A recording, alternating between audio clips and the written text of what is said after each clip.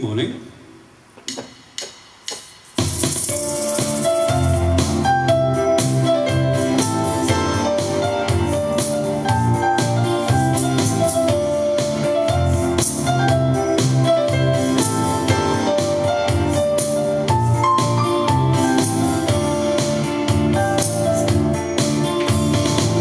John home.